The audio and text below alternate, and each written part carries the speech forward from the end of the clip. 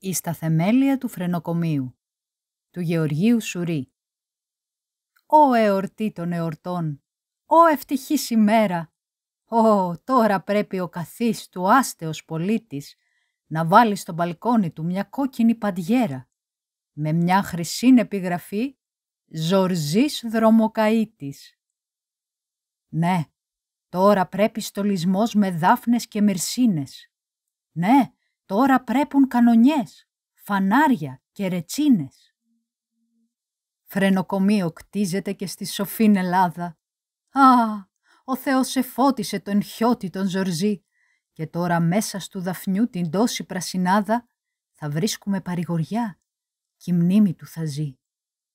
Ω μέγα ευεργέτημα των ευεργέτημάτων, ω μόνον οικοδόμημα των οικοδομημάτων. Θέλει λαμπρών μαυσόλιον αυτός ο κληροδότης. Πεάνας και αποθέωσιν εις τρίτους ουρανούς. Ευρέθη μες στους χιώτιδες με γνώση και ένας χιώτης και σκέφθη ο μεγάλος του και πρακτικός του νους πως μέσα στην Ελλάδα μας που πλημμυρούν τα φώτα φρενοκομείον έπρεπε να γίνει πρώτα-πρώτα.